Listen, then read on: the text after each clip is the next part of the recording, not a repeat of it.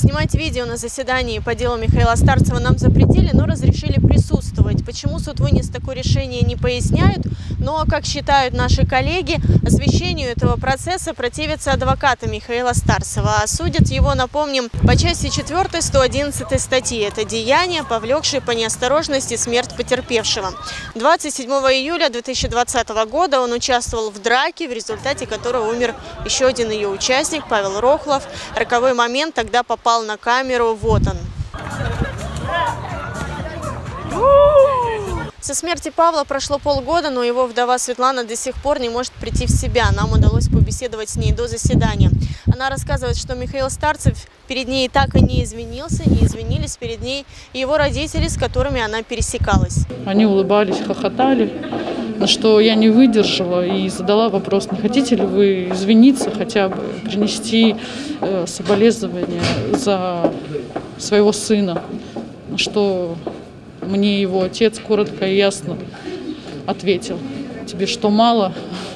Мы перед тобой извинились через телевизор. Вот и все.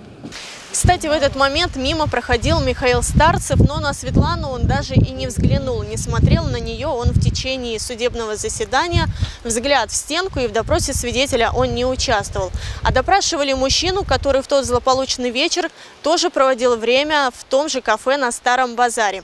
А, на судебном заседании он еще раз рассказал, как видел так называемого агрессивного человека, которого в первое время в СМИ окрестили как инвалид. По словам свидетеля, он сначала сначала приставал к девушкам из его компании, они отказались с ним проехать, затем его внимание переключилось на компанию Михаила Старцева.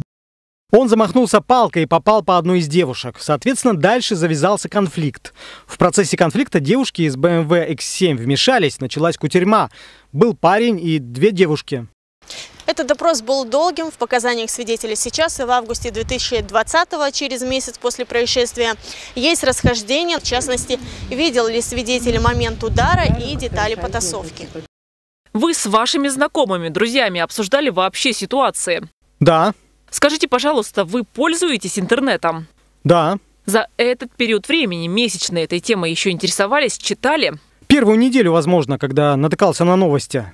Вы все рассказывали следователю, как вы поняли, или уже пользуясь информацией? Ну, то, что я помню, то и рассказывал. Тогда как понять, видели ли вы удар Старцева в отношении Рохлова или не видели? Именно момент, когда Старцев нанес Рохлову удар, я не видел.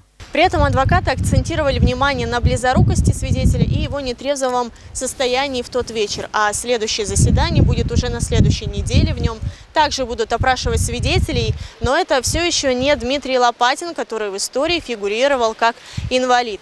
Анастасия Дороган, Алексей Фризин. День с толком.